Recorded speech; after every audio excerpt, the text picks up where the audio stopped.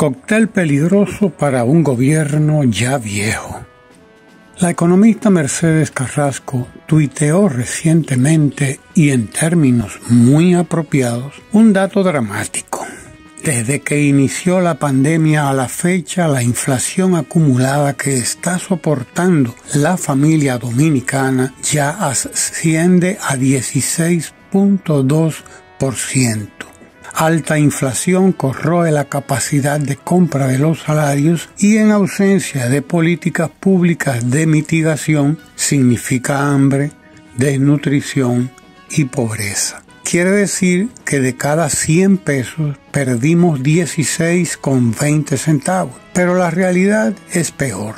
La eminente economista evalúa dos años, pero la tragedia tiene año y medio con desmonte de programas sociales, abandono de los pobres, privilegios para ricos, concesiones, privatizaciones, pensiones privilegiadas. Por otro lado, una gestión caracterizada por endeudamiento, improvisación, reforma fiscal disfrazada, fideicomisos por pipa, abundancia de discursos y escasez de soluciones. En año y medio, cientos de miles quedaron desempleados por razones políticas otros por la pandemia y la incompetencia. Micro, pequeños y medianos emprendedores abandonados, banca solidaria olvidada, pequeños cosecheros quebrados por las importaciones. El 27 se acerca con sus cuentas y sus cuentos, pero la inflación arremete.